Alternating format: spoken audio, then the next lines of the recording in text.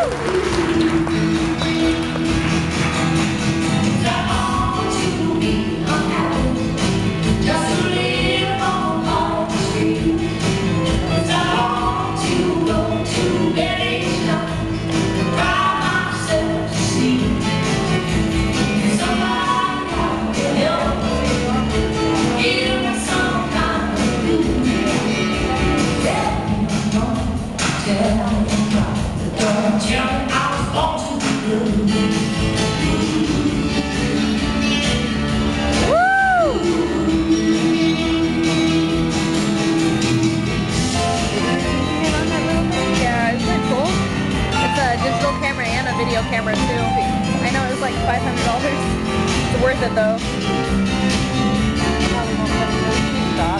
What? That carrier like Yeah, exactly. They think it's just like a digital camera.